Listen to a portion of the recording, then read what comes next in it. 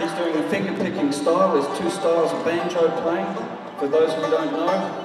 One is the finger picking style like this, and as you can see, out of the four strings, there's three strings that um, are normal, uh, four strings that are normal, and then there's a fifth kind of sympathy string. And uh, because of the nature of the number of fingers that humans have that are available for plucking, and as far as banjo is quite a difficult instrument, so as you can see, he's got three what look like thimbles on his thumb, his first finger, and his second finger.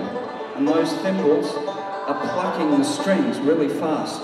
And that's why the patterns of the banjo are in three. So give us a burst of three, three stuff.